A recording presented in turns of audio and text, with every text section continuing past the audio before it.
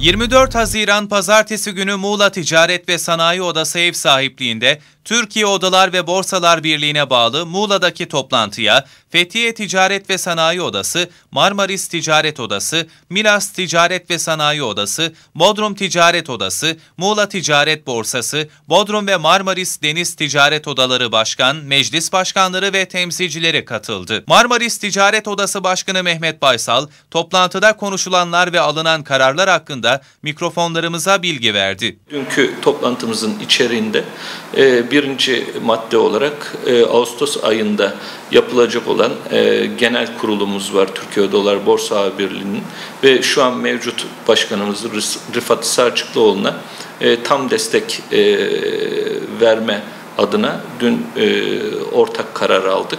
Baysal toplantıda yeni çıkan alkol yasası ile ilgili görüşlerin bildirildiğini belirterek Marmaris için bu yasanın uygun olmayacağını söylediklerini ifade etti. Yeni çıkan alkol e, yasasında özellikle marketlerde e, gece 10'dan sonra e, içki satışının e, yasaklanmasıyla ilgili e, uygun olmayacağını zaten zincir mağazalarla boğuşurken e, gece ondan sonra e, bu marketlerimiz e, artı e, değer para kazanmaktalar.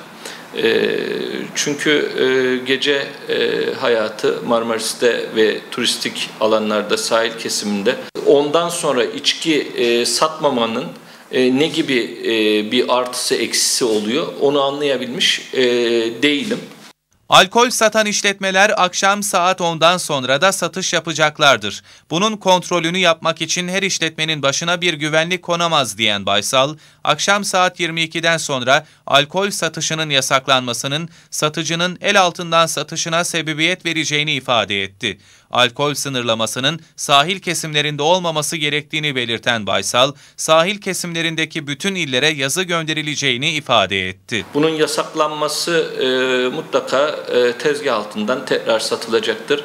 E, kolluk kuvvetlerinin bunu buna müdahil olmaları e, belki belli bir e, süre e, olabilirler ama bu kadar e, dağınık e, bir alanda e, bu marketlerin kontrol edilme gibi bir şansı olmayacaktır.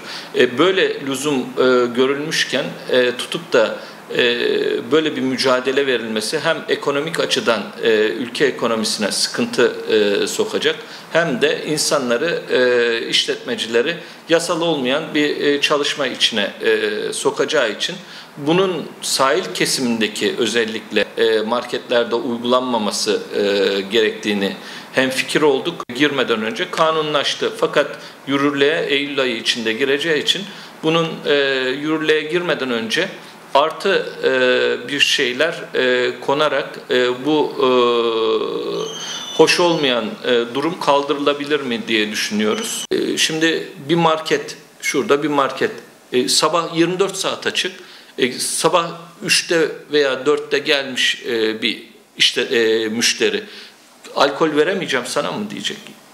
O zaman kapatılsın.